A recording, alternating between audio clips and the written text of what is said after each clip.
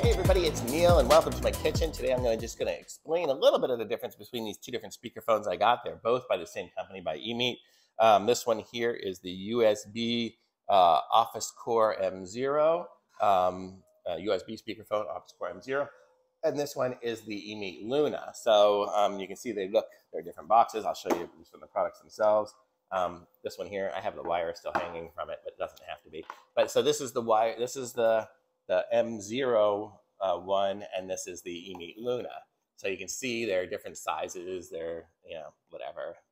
But this one here connects up through, you have to connect it in through the USB to the laptop to get its power. It gets its power from my laptop. Sound, they both sounded almost the same. They both sounded awesome. I called my mom. You can look at the other videos and see how that goes. Um, but they both sound great. Um, they, this one has the three and a half millimeter plug and everything like that, and sounds good and has to connect up to the computer to use. And then this one here had the ability to connect up Bluetooth. So we actually did this one wirelessly from my iPad. I could connect it up to my laptop. Uh, could connect it up to my telephone, so it could do that. And if you connect it up to a laptop that doesn't necessarily even have um, Bluetooth or whatever, you can use the little dongle here and just plug this into your laptop and get the connection that way. This one here has a few more ports on the back. I guess it's probably got a speaker in and speaker out, and then it's got the USB, so you could connect the mic, uh, the what is this called, the USB-C, so you can connect it up to the laptop directly, or you can charge it from there. And then it's got that little square port where you can um, lock it up to your desk or whatever, so people don't steal it. Um, and this one here also has a battery in it, so you see if I push the button on it, it'll it turns on. It's not connected to anything here. This one here has to be connected up for power. Um, I'm going to turn it off now just so it doesn't connect up to my iPad.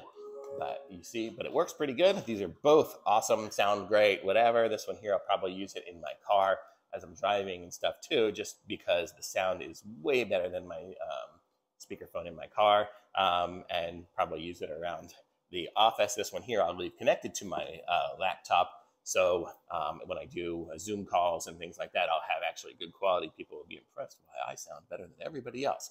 But those are these are the two of them here. They're both equally sound awesome. Um, super easy to use. I mean, it connected right up. It says on here, um, you know, connects up to all these different versions of Windows and whatever. For this one here, um, this one here, obviously too. They both connected up. Super easy. Plug them in, recognize, and go. So good to go. So I love them. So thumbs up for me on both of these. Um, you can take your choice of what you need. If you're just going to be using it in office connected to a laptop, this one here is going to be sufficient. If you want to use it connected to like a cell phone or something else or an iPad or other devices, you might want to go wireless just so it's a little bit easier. Or if you want to put it in the middle of a desk where the wires don't want to run wires, um, you can do this one here and charge it up. So there you go. Thumbs up from me. Um, links are in the description. Uh, link to the other videos as well, so you can see the full uh, reviews of each of those. And I like it. So subscribe to my channel, like this video, and I'll be back with some more reviews soon. Bye.